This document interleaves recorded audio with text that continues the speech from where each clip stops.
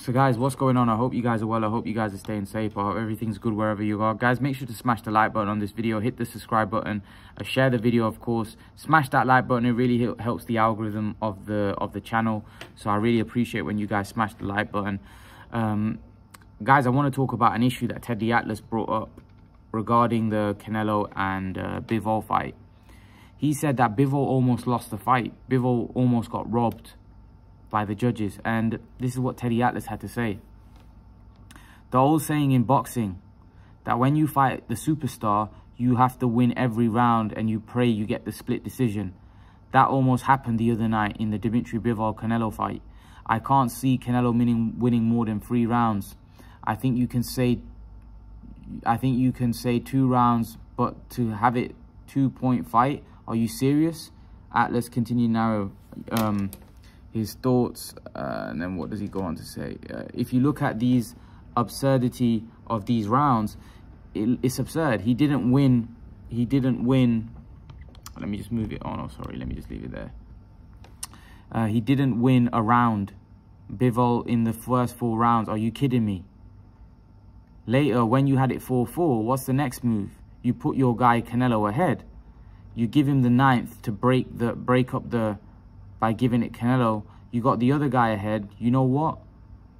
He kept the guy in a fight that wasn't close. You did your freaking job. Your dishonest job. Wow. Teddy Atlas is ripping in here. Okay, let me just move this. Um, you got your guy Canelo ahead going into the championship rounds. Do you think that's a coincidence? I don't he's he's here's the thing. That went astray that went haywire with the plan. Now it's up to your guy canelo the golden goose. It's up to him to do his part and bring it home. Canelo couldn't bring it home. If you do anything more here where you acknowledge it's not a close fight and that's the key you keep in your head it shouldn't be close this late honestly. But they did their job. They kept an unclosed fight, close down the stretch. Now they got it close. It's up to Canelo to bring it home because they gave him the lead even though he didn't earn it. And guess what? He couldn't get it home. Wow, Atlas is going in. And then he goes... Okay, then he goes... Bivol won the rounds too clear. Here's the key. They already gave him Canelo too many rounds that he shouldn't have got. So under these circumstances, they could have given him these rounds, not 10, 11, 12. He didn't earn them. They couldn't. He didn't. He had to earn them, and he didn't earn them. Bivol went out there and won the fight. And if Bivol didn't win the fight by really bouncing this guy's head around in the rounds that he did, as big as he did, he don't get it it's not fair. Oh, you got to win it by enough. You should be able to win. In boxing, for some reason, people say if you're the champ, or in this case, you're the golden goose, you've got to really beat the guy. Okay, that's not fair. You should be able to win, but he, Bivol, beat the guy. He really beat the guy. And it was, it, it was close to that old saying where you win every round and hope for a split decision maybe three rounds, or if you go, if you want to go crazy, maybe four. So maybe three rounds to Canelo, but my God, they were ready to rob this kid and didn't let, and he didn't let them. They didn't suddenly get a coincidence. He just did not let them rob, rob him. Wow. So Teddy Atlas goes in there. Uh, I'm just moving the camera around. Um, yeah, I had the I had the article up there. So yeah, so Teddy Atlas is basically saying that you know they were ready to rob him, they were ready ready to rip um, Bivol off, and you'd have to agree in the sense that the fight wasn't very close. Let's be brutally honest, the fight wasn't close. It wasn't a close match. It wasn't a close fight. Uh, Canelo was soundly beaten. I think 9-3. Some people had it 10-2, 8-4. I think it was pretty a one-sided fight in the sense that, you know, I don't think you can make a case for Canelo winning that fight. But the fact that they had the fight one round, you know, Teddy Atlas has got a point. Now, Teddy Atlas is seen as somebody that doesn't isn't the biggest Canelo fan. He said these things in the past. He it seems to me he doesn't think Canelo's uh, from.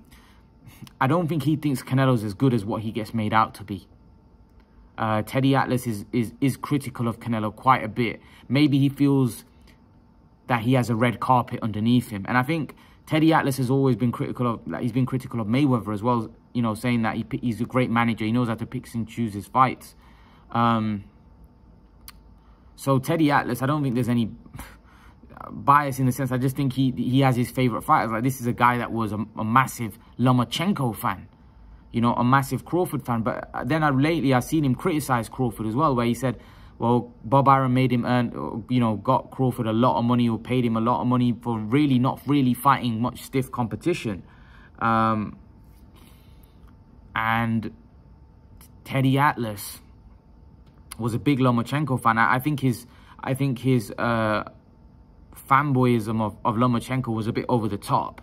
I, I don't think Lomachenko was as as good as what he thought, you know. But Atlas had his opinion, uh, and he's still a massive fan of Lomachenko, who I think's a good fighter. Don't get me wrong, but I, I think I, I think he was. I think he. I think with Lomachenko when he said that you know he's above Crawford and uh, Andre Ward pound for pound. I, I, didn't agree with that at the time. Uh, maybe Crawford, because Crawford's resume was pretty thin. But Andre Ward at the time, no, no chance. He's not better than him. But that was because Teddy Atlas liked his style or liked his particular way. Um,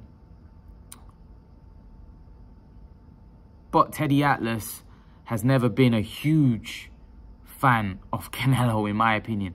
Uh, from the, the comments that he's made in the past, he's never been a huge fan. Uh, and he has mentioned that Canelo does get gifted, get favorable decisions. Now, I thought Canelo lost the first Golovkin fight. Uh, we had a debate about the Lara fight, and a lot of people thought that Canelo lost the Lara fight. I don't think that was a robbery. I think that was a close fight that probably, you know, could have been very close, but I think Canelo probably nicked it. Now, some people, like Steven, said it was a robbery. Uh, I just don't see how you can call the fight a robbery, to be brutally honest with you. I don't think Lara did enough I don't think Lara's performance was like Bivol to do enough in order to get the decision. Lara was just tickling him here and there. That's not winning fights. You've got to be decisive. Uh, and Bivol was was un unbelievable. Bivol outclassed Canelo. Uh, that was a conclusive victory. I don't think anyone would argue with that. That was a one-sided fight, Canelo and Bivol. Um, and Bivol won quite easily by a landslide. These type of decisions, if if if for me, if they if they hadn't given the decision to Bivol, I think Canelo's credibility would have been through the through the through the floor. I think people would have just said there's no point of even fighting Canelo. I, I literally think it would have gone to that stage where people would have said there's no point of even fighting Canelo because you know he's going to win. Unless you knock him out, you're not going to beat him. I literally think that would have been the scenario. I think that's how I actually think it wouldn't have been good for Canelo's uh, credibility because people already say Canelo gets gift decisions, right? If he had got this decision against Bivol, I don't think it would have been good for his legacy. I, I think it's, it's great that he didn't get the decision because I think Canelo's fights would have been would have been tarred with a brush that he's fixed. He gets gift decisions. There's no point of even fighting him if it goes to decision because he's not. You're not going to win. So what happened there with the decision going in against Canelo, even though I think the, the scorecards were BS, I think the scorecards were rubbish, right? It's very good for boxing and it's very good for Canelo because if Canelo had got that decision, I think there would have been a question mark and conspiracy theories around Canelo fights. Um, people would have brought up all sorts about his, you know, it would have affected his legacy. You know, I remember Barry Jones when he was on Seconds Out actually watching along, you know, doing a, a live watch along when Canelo was fighting Bivol. And he said, I hope he doesn't get this decision because it's going to hurt Canelo's legacy. It, would have hurt Canelo's legacy because people are going to say that this is this is BS, this is rubbish. You know, this is a guy that's just getting gift decisions. He's just getting, uh, like, there's no point of even fighting him. You're not going to beat him, even if you beat him. Like Teddy Atlas said, you, you know, you beat him every round and get a split decision. Now, I ain't going to go as far as saying Bivol beat him every round. I think people are exaggerating a little bit, but it was quite a sound win. You know, Canelo probably won three, four rounds max. He didn't win five rounds in that fight. Not even close. You know, you can make more of a case of 10-2 than you can make of a 7-5. You know, it, it, was a quite conclusive win for Bivol. But I'm just happy that the right man got the decision because I, I'm telling you, that would have been a massive dent on Canelo's legacy and a massive dent on the sport because people, in my opinion, when it's a fight of this magnitude and it's, it's the biggest star in the sport fighting, I think a, contro a controversy like this, there's a lot of eyes on it. People will just say this is this is BS, this is rubbish. You know, a lot of people will start saying that the fight, these fights are fixed when they're not.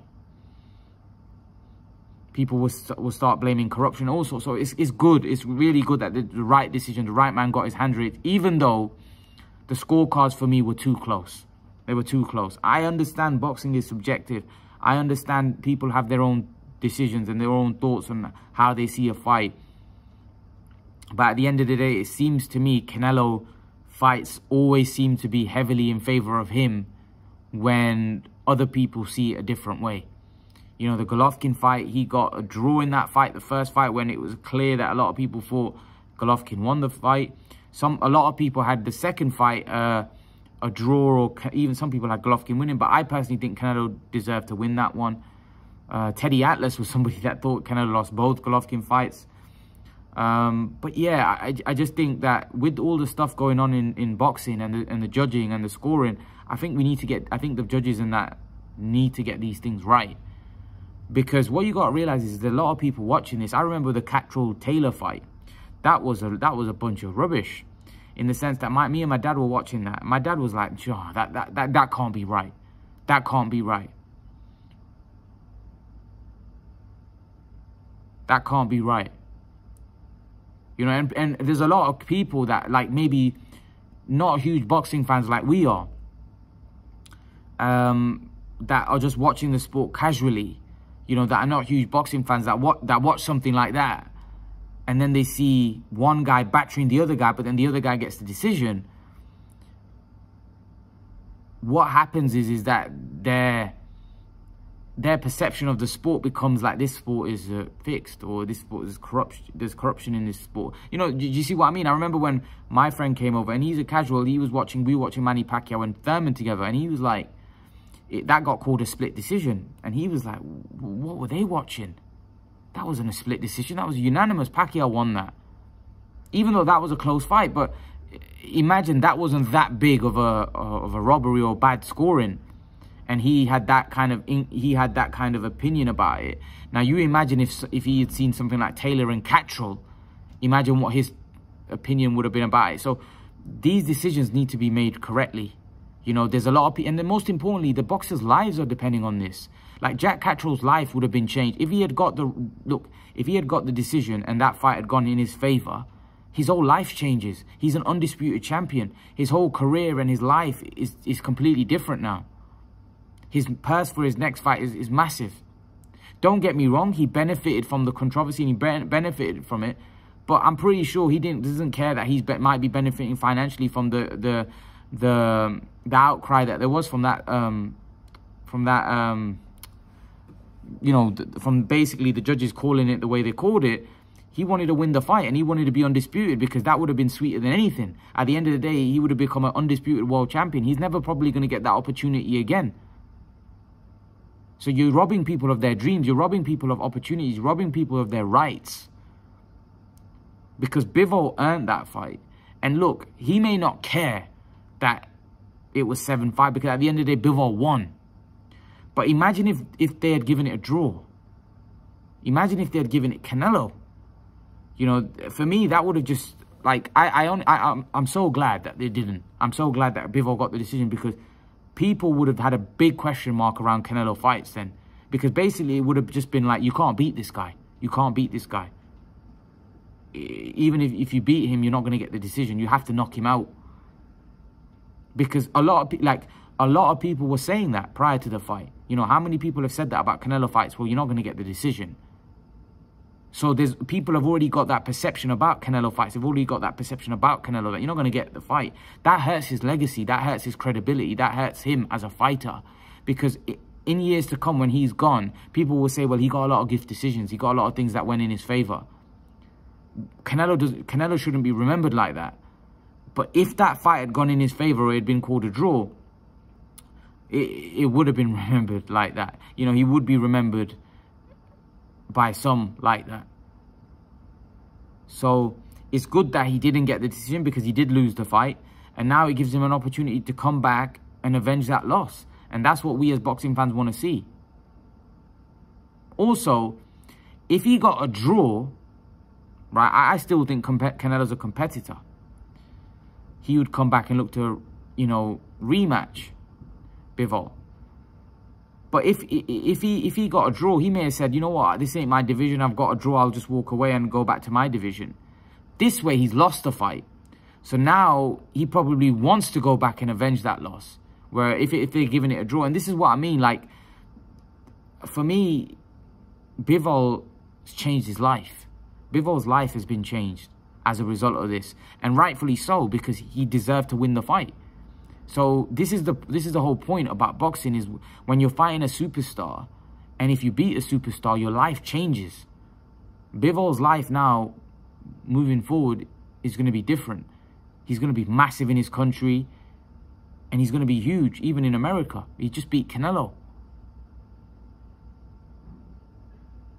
So, for me, I think, I think the right thing happened. The right thing happened, and it's so I'm so glad that Bivol didn't get, you know, robbed on the scorecards because that would have been terrible for the sport. Would have been terrible for Canelo. Would have been terrible for Bivol, and would have been terrible for the fans. You know, would have probably lost faith in in in boxing, lost faith in the judges that these guys are not scoring fights properly. But I'm so glad that the right call was made. But leave your thoughts. Let me know what you think in the comment section below uh, about that. And I'll see you guys in the next video. Peace.